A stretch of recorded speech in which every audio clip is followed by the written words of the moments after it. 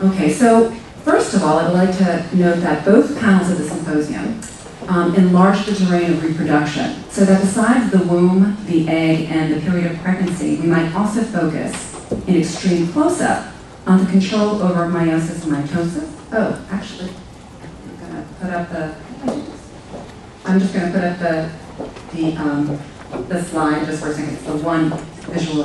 Anyway, the program, you don't actually have to look at anything up here, but um, the program, the photo is actually of mitosis, in fact. Um, so we might also focus in extreme close-up on the control over meiosis and mitosis, or on cellular metabolism and regulation, or to continue the cinematic metaphor, our speakers also focalize via long shot on zones of interaction and relationality that, while superficially seeming far afield from reproductive concerns, remain central to them. So geopolitical differences in clinical practices, this is Meijong's paper, giving you a little tantalizing allusion to what's coming in our next panel. The econ economic calculus of drug development, um, that's paper, and the interdependence of human communities and environment. That actually speaks to a lot of our panels today. Uh, these papers push us to ask how traditional historical feminist concerns regarding women's bodies, racial stratification in reproductive politics, and caretaking labor have transformed the disciplinary archive of science and technology studies, the legal and philosophical adjudication of life's beginnings and ends, or played a part in projecting a vitalism to the non-zoological aspects of the chemical and mineral world, as asserted by the new materialists, as Susan pointed out, and scholars drawn from environmental studies. Richly complex in the frameworks, the papers on this first panel urge consideration of elements of time as in past acts sedimented in human bodies, whether by way of surgical procedure, as in the famous uh, film, or the seepage of chemical influence, effluence, um, as, in, as, in, as in the work that Murphy studied. Um, these sedimented uh, pasts that are not necessarily visible or made easily manifest in the language of visual certainty. Um, they also have us consider the looped and looping relation of feminism's present to feminism's past. Again, um, Squier's work, and she might elaborate a little bit more on that framework later. Uh, the desire to track what makes us modern. For instance, um, Foucault's notion of Zoe's entrance into the political at marking the moment of modernity, or what aporia such as the homo sacer uh, transtemporally lingers on the border of sacred role and political role and those zones of non-ruled, non-regulated, unruly, or imperceptible, um, or imperceptibility that we relentlessly wish to bring into perceptibility. Oh, uh, time is also a preoccupation in the idea of hauntings of the past or future than born, um, as Tajima Pena so eloquently put it. And then finally, um, we have less linear ways of, of uh, conceiving of time suggested in our panel in the afternoon, um, such as periodicities of food intake um, in Hannah Landecker's work, and the synchrony of food and sleep-wake cycles. So different notions of temporality, rhythmic notions of temporality will come in in the second panel today. The other big uh, common concern of at least the papers in the first panel, I think, is um, either explicitly or implicitly this notion of affect, okay? And this comes up in Susan Squier's paper specifically, so I'll, I'll uh, press her more on that in a second. But affect has a kind of corollary aesthetically or in art practices to mood.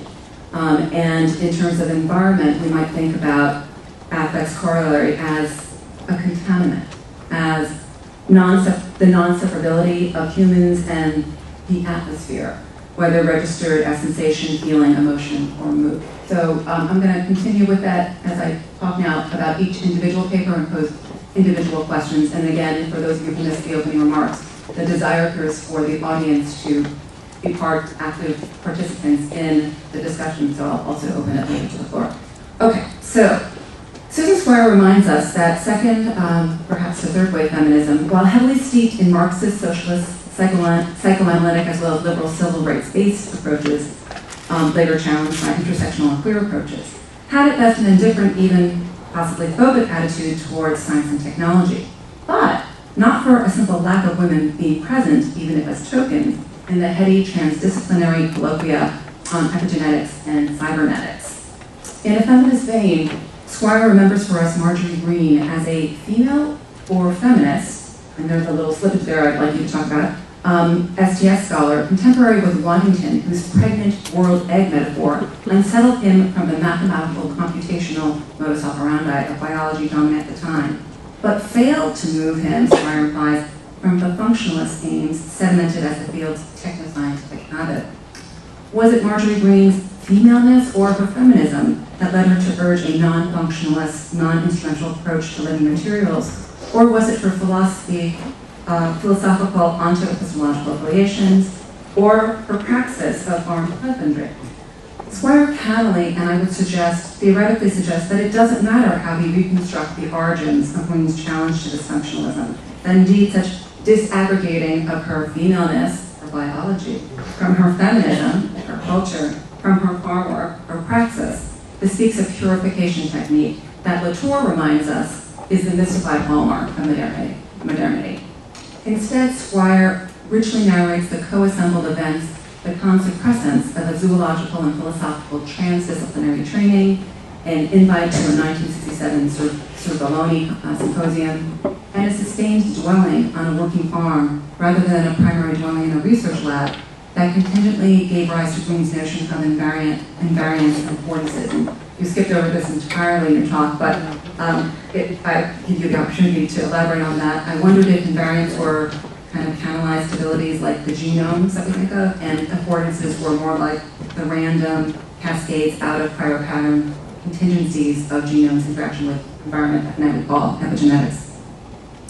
But what I would really like you to elaborate on more is the role of affect both as an interrogatory critical tool that helps us understand the blind spot of Waddington, and secondly, as a rhetorical device in this paper, which again, I read a, a, a longer version of it. Um, so in the paper, affect um, vis-a-vis feminist theory, it comes in by way of the subtitle Love and Blame rather than antagonist.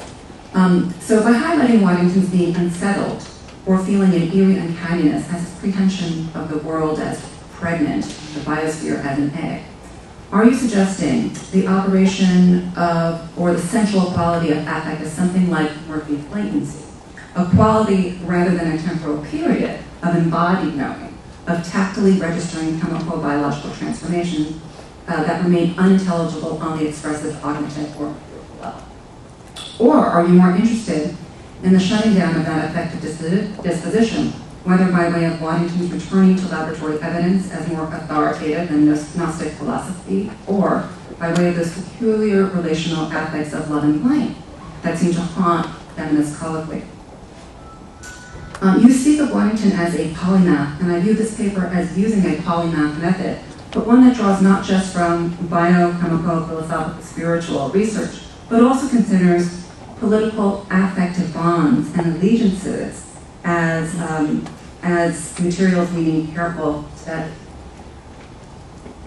Uh, Squier's allusion to affect, of course, syncopates with Murphy's paper, um, and uh, the affects that Mur Murphy and others are implicitly, implicitly, if not explicitly, critiquing with regard to generativity, pregnancy, or promissory futures that are sort of forward-moving.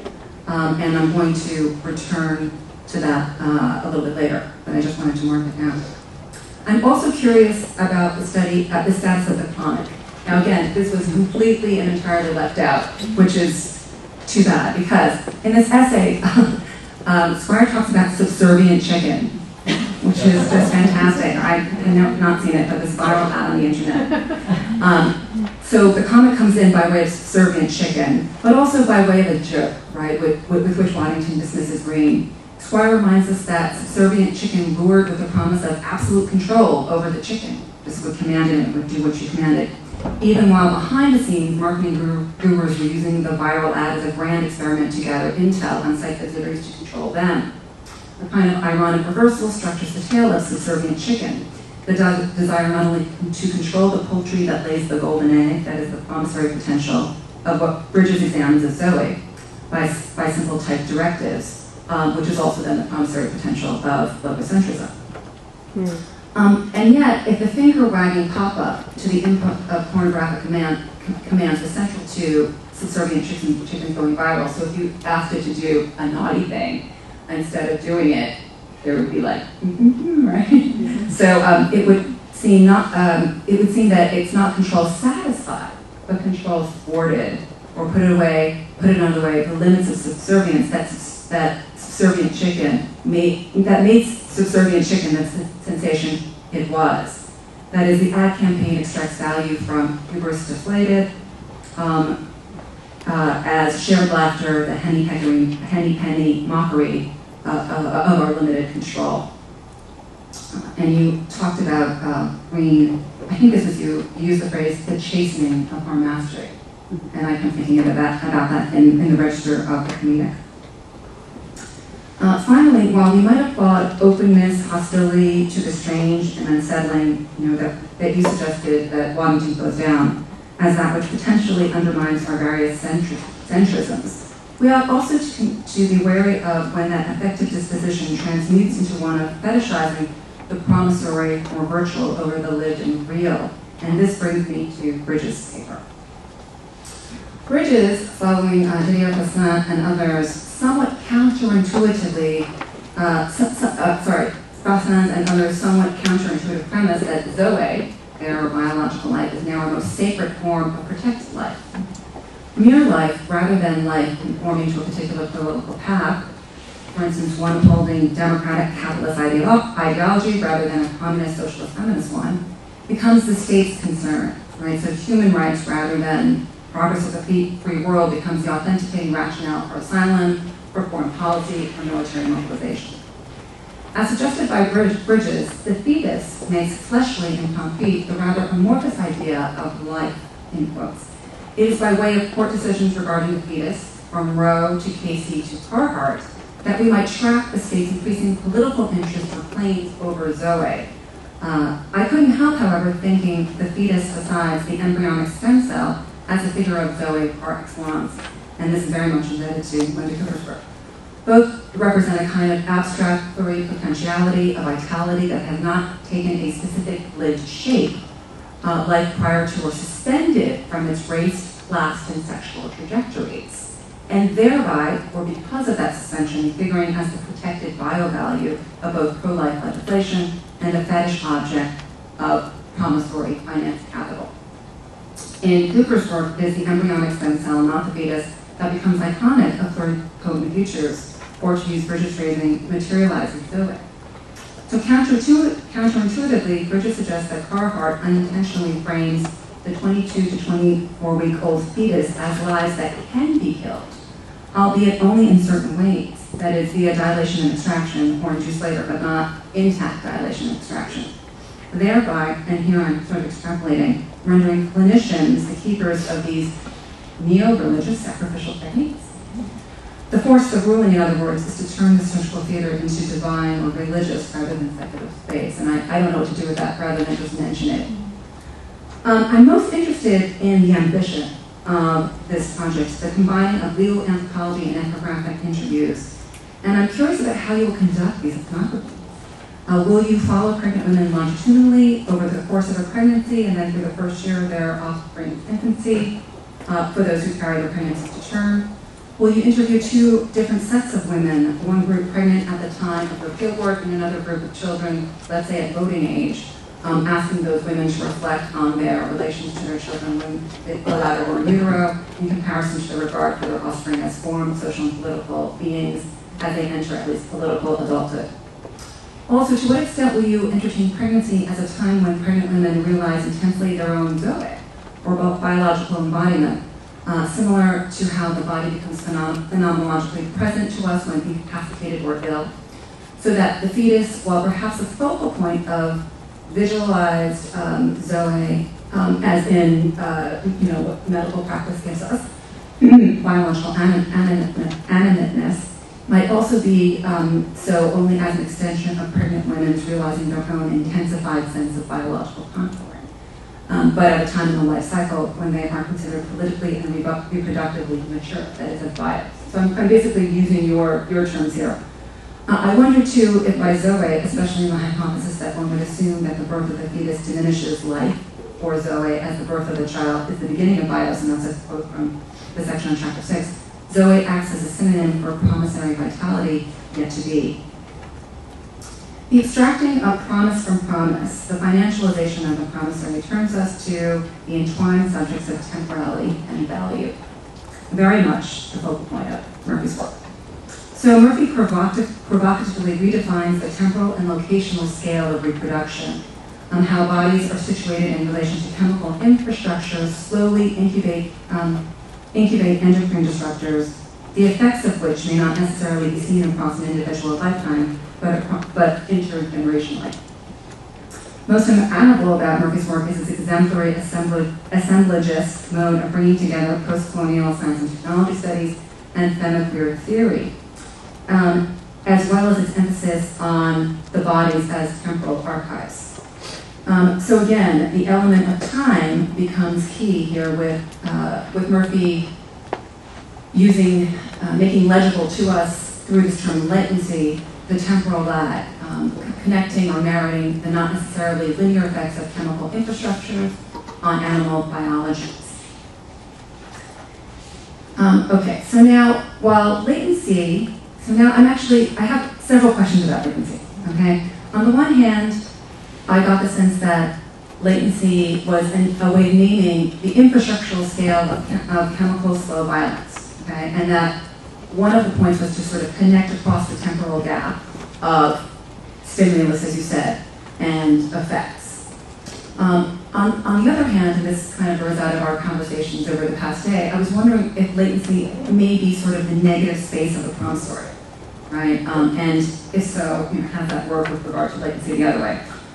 And I also wanted to press Murphy on the question of politics, which, with which he left us at the very end of the paper. So paying attention to, latency, is it instrumental for the forging of better regulatory policy vis-a-vis chemical infrastructures and their biological effects? Is that how you're using it? Is that the normal position of your paper? Or is latency more of a deconstructive tool recognizing the limits of our knowledge infrastructure? The lag between contamination or, less pejoratively, alteration. Um, I was quite drawn to, but also wanted to make more concrete your statement that there is no inherent ethics to either generativity or difference, but only political determinations of how those qualities or dispositions work in local contexts. That is, if we were on the side of generativity, we might find ourselves lamenting the, the changed sex ratios among the Aamjiwnaang, boys birth at an anemic 35%, as a clear sign of chemical injury. But also in doing so, unwittingly we are aligned with promissory reproductive narratives that preserve heterosexual reproduction and binary sex as an unquestioned good. And Nathan Ha is also credited for this line of questioning as well, since he brought this up yesterday.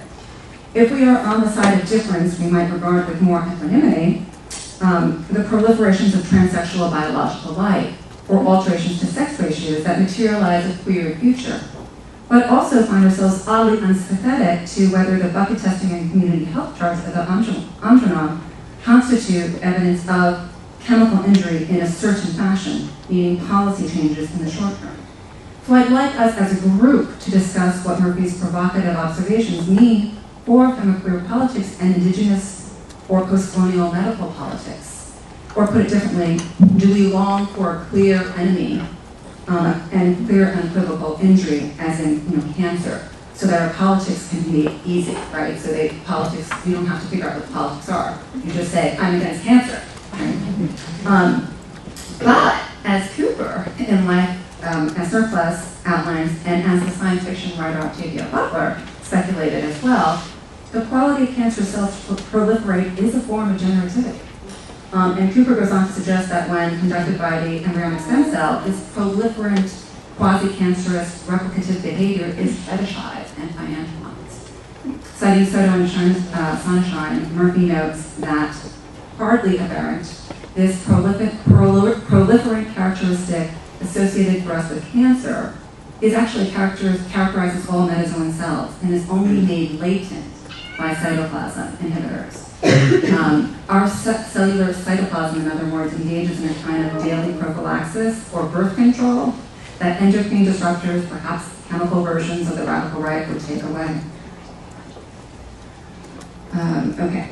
And finally, maybe it's because I am reading Benmore Golis, but the scenario presented to us is one in which mitosis, the doubling of cells, the replication of cells in tissues that happens all the time, that kind of generativity takes priority over meiosis. The having the chromosomal materials to form gametes or sex cells, that kind of sex generativity. So if, sexual, if the sexual division of labor tied to women's mystified, mystified actual relation to childbearing is still a rallying cry for sexual inequality, then mitotic generativity and the waning of meiotic generativity in evolutionary adaptation or selection would seem congruent with feminist aim. Food for thought. Okay. Akin to the idea of latency, uh, so back to latency, and akin to this idea of latency, or perhaps the aesthetic corollary of latency in Tajima Pena's film, um, is the ambivalence of whiteness. Um, uh, for Tajima Pena, the uh, whiteness as bridal color, shroud, apparent blankness or absence, and also as palpable racial infrastructure, edges or shots, blurs um, the aim, the desire for a fuller picture, and thwarts desires for judicial restitution. Um, this whiteness is itself a, a, palpable presence that kind of squeezes in around the edges of the film. Um, in terms of thwarting the desire for judicial restitution, um, I would note, I don't know if you noted this, but uh, I mean in the talk, that Madrigal uh, was decided not for the plaintiffs. In fact, the, in, in a sense, the plaintiffs did not get restitution uh, in the courts. And I was wondering about how the that conclusion affected your choice of this as a subject for the film. Okay, so what would, if, if Madrigal had been decided the other way, would it have been as good a choice for the film? How would that have changed the aesthetic practice? Uh. So, um, so we can think about the violence of of uh, of what happened to the women that Tajima Pena documents in Más Bebés as reproductive health and population policy as sort of the agents of, of violence. But maybe we can also, and this is tying back into the theme of time, but maybe we can also think about the violence as um, the idea of a monolithic modernity, or the idea that everyone has to be sort of synchronous in modernity um, as the structuring violence. And here I'm thinking about um, uh, Lawrence Cohen's work and Susan Greenhalgh's work on population control and the phrase as if modern, right? So if one through education campaigns cannot convince people that you must have fewer children because of population control objectives or GNP directives, whatever they be, um, instead, you operate, right? And you make someone as if that is surgically modern, right? So in line with population controls. And so I thought that that would be an interesting way to sort of connect Tajima's, Pena's uh, concerns with time. Uh, time you've thought about in terms of ghostly hauntings, but what can we think about the time or the violences of as if modernity as well? The film, as you um, uh, put, it, put it, transgressively appropriates pro-life iconography. Um, so, for instance, the foreground of the girl riding the bicycle against the cemetery gravestones in the background might, might be considered um, in this vein. But while perhaps prenatalist in the fleeting, fleeting images of children, I wonder if saying that they are pro-life is painting the picture, picture too starkly black and white, so to speak. When thinking of pro-life iconography, and I'm chiming here with Bridges' paper, it is the fetus that has priority and not the um, unfertilized gametes, which are more properly protozoa. Protozoa is protozoan. Again, an insight drawn from, drawn from Bridges, sort of the cross-contamination of the paper there. Uh, nor is uh, priority granted in pro-life iconography to bios, right? So this is again using uh, Bridges. That is postnatal life, postnatal lived life that is socially and politically specific if not politically protected. And it is as bios that these young children are represented in specific public places in East Los Angeles. So one more final point uh, with regard to this film. And this sort of returns to Madrigal, Madrigal v. Quilligan and it being decided not for the plaintiffs. So in Next Residues of Justice, as well as Lisa Lowe's Immigrant Acts, they both propose the cultural aesthetic arena as that which precisely houses the remainder of what cannot be resolved in the political judicial realm. Okay? The political judicial realm cannot give us that balanced portrait that we think of as justice. So instead, those remainders erupt in the aesthetic or cultural fields. So I kind of want to suggest that even if Madrigal versus Quilligan had returned a verdict finding malfeasance on part of Edward James Quilligan and County USC, this film would still need to be made. Right? A verdict in the plaintiff's favor would still not adequate or balance the grief of their non-voluntary punnings and sterilizations. Um, but I still want to know how it would have changed your practice had the decision gone the other way.